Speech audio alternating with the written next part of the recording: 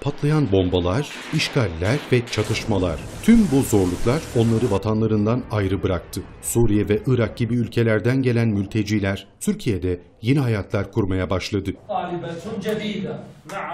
Çalışma izni alanlardan bir bölümü Türkiye Diyanet Vakfı'nın da desteğiyle öğretmenlik yapmaya başladı. Lugati, lugati, lugati.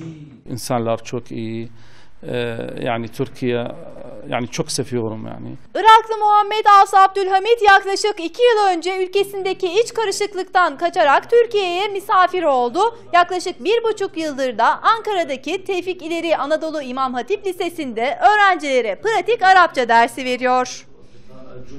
أمي الحبيبة السلام عليكم تعقيب السلام عليكم Huna el-tedris as'ab. Arapça çok önemli bir dil. Her şeyden önce Kur'an dili olduğu için ayrıcalıklı. Ben de öğrencilere her gün düzenli bir şekilde Arapça çalışmalarını en azından yarım saat ayırmalarını tavsiye ediyorum. Öğretmenlik, Muhammed Abdülhamit'in asıl mesleği. Ancak buradaki derslere Türk öğretmenlerle birlikte giriyor. Okuldan sonra ne yapıyorsun? Maalesef efendim. Ee, Ana es İletişim bozukluğu ya da kopukluğu olabiliyor. Ben aracı konumunda oluyorum.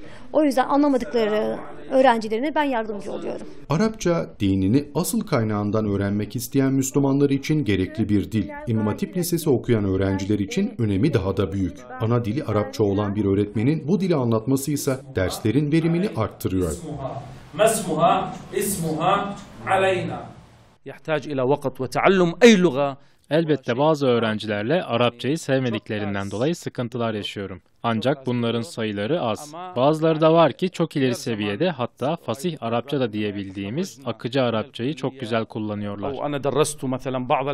Derslerimize girdiklerinden dolayı çocukların e, konuşmalarını ilerletiyorlar ve bu bakımdan ve gerçek bir Arap karşılarında olduğundan dolayı konuşma açısından ben çok yararlı görüyorum. Böyle bir öğretmenle karşılaştığım için çok mutluyum. Hani çünkü ya e, onların konuşma ağzıyla öğreniyorsun bunu ve kulağına daha iyi işliyor.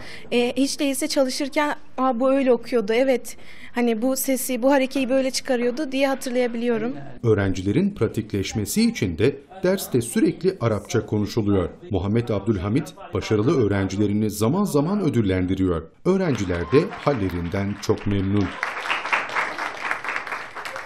Derslerimiz daha çok hani alt düzey değil daha yukarı düzeyde işliyoruz. Daha çok konuşma yapıyoruz, diyaloglar yapıyoruz. Derslerimiz fazla kelime ezberi yaparak, çalışarak ve verimli şekilde geçiyor. Çok ilerleme kaydettik.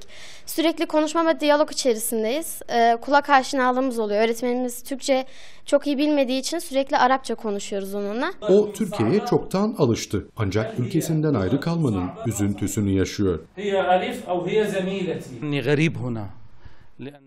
Ben sadece eşim ve çocuklarımla geldim.